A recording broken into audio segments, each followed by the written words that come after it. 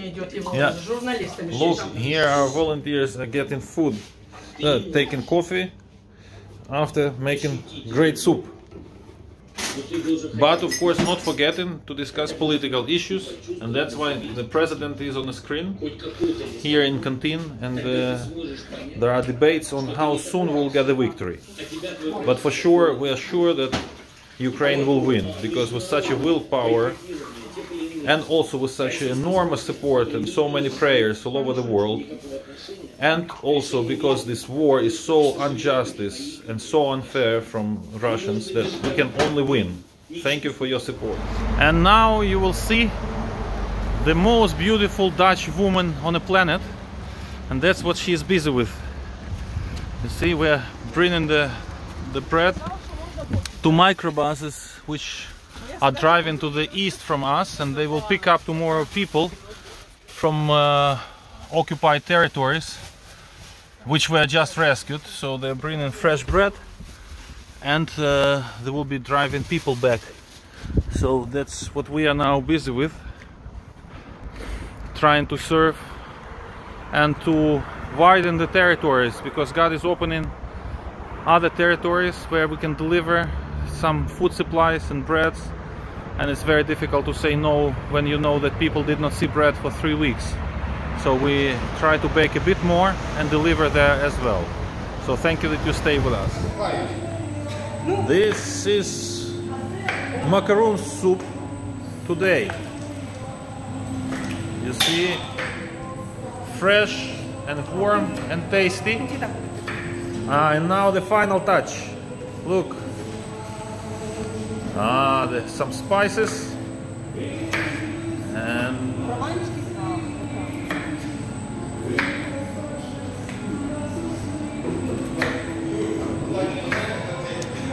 and here there is a Ukrainian music.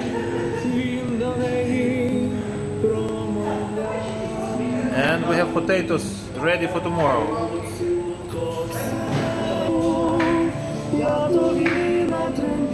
Let's enjoy the music Лиш одній цім світі Розкажу про любов.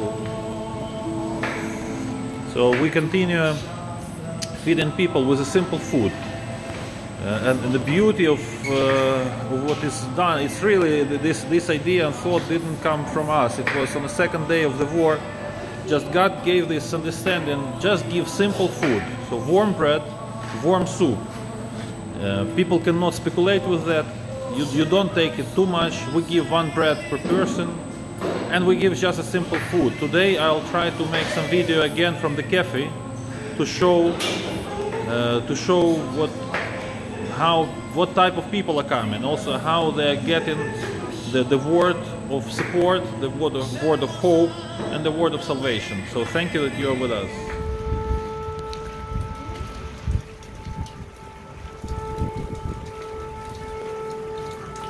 We hear now that Syrian on which is warning about air alert.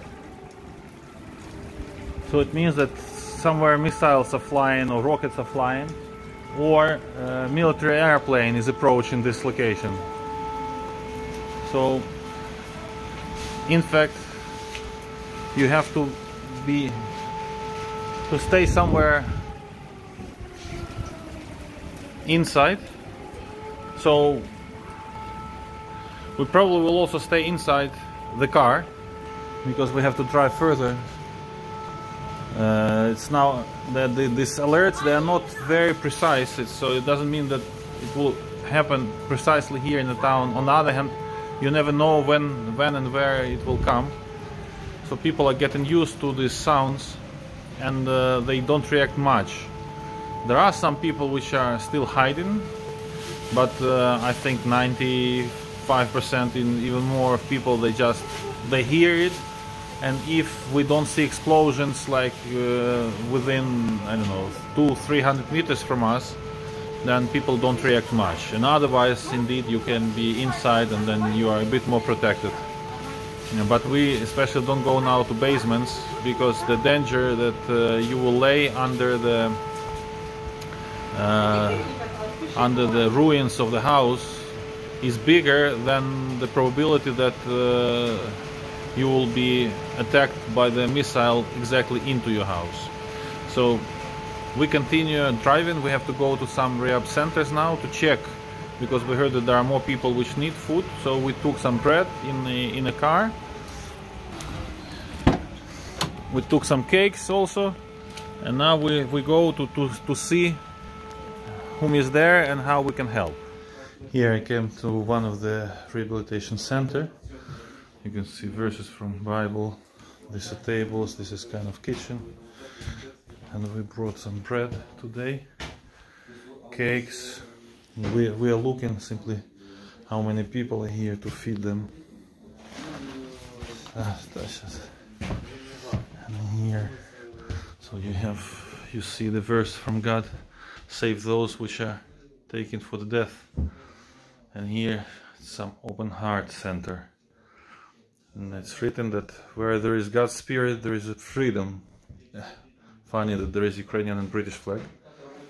But uh, in these circumstances uh, rehabilitation centers are suffering from a lack of financing but also lack of support. Everyone is now concentrated on uh, on a war. So we try to support with them with basic food daily good day you will ask how children diapers are connected to baking. Well, in Bake for Ukraine, everything is connected. So this is our son Daniel, and he is sorting out the diapers, which we received from uh, Netherlands, from Poland, and from Germany. People heard about our ministry to to the poor here with bread and soup, and they sent some some more things. Well, th this look, this is also diapers and we try to distribute them. We're giving them to people here in the town, but uh, even more we are sending them to the more far villages and to more far towns, uh, which are suffering uh, much more because shops are not working. We had here uh, some food supplies we distributed. Uh, we are expecting today some more also uh, like cereals, buckwheat, macaroons, and other products that we can share with people. Uh, but normally we are sending them with microbuses uh, that are going uh, every day and uh, they are going to more east uh, from us.